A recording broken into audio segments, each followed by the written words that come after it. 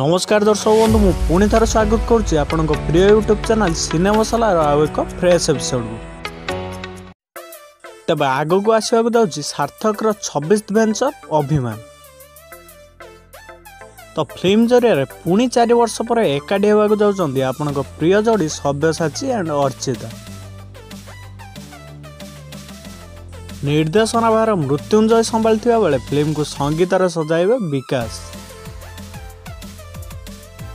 ଆସନ୍ତା ରଥଯାତ୍ରା ସମୟରେ ଫିଲ୍ମଟିକୁ ରିଲିଜ୍ କରିବା ପାଇଁ ପୁରା ୟୁନିଟ୍ ଫୁଲ୍ ଜସ୍ର ସହିତ ଶୀଘ୍ର ସୁଟିଂ ସାରିବା ପାଇଁ ଲାଗି ପଡ଼ିଛନ୍ତି। ଦର୍ଶକମାନେ ଫିଲ୍ମରେ ପୁରା ମନକୁ ଛୁଇଁଲା ଭଳିଆ ଷ୍ଟୋରି ସହ ସବ୍ୟ ଅର୍ଚ୍ଚିତାଙ୍କ ରୋମାନ୍ସ ଜବରଦସ୍ତ ଆକ୍ସନ୍ ଆଣ୍ଡ କିଛି ଇମୋସନାଲ୍ ସିନ୍ ଦେଖିବାକୁ ପାଇବେ ବୋଲି ପ୍ରଯୋଜନା ସଂସ୍ଥା କ୍ଲିଅର କରିଛି। ତେବେ ଫିଲ୍ମରେ ଗୋଟେ ସୁନ୍ଦର ରୋମାଣ୍ଟିକ୍ ଡ୍ୟାନ୍ସ ନମ୍ବର ଗୀତ ରଖାଯାଇଛି ଯାହାର ସୁଟିଂ ଏବେ ଓଡ଼ିଶାର କିଛି ଭଲ ଭଲ ଲୋକେସନ୍ ଦେଖି କରାଯାଉଛି ତ ଚାଲନ୍ତୁ ସୁଟିଂ ସାଇଟ୍ର କିଛି ଶାନଦାର ମାହୋଲ ଉପରେ ଆଖି ପକାଇବା।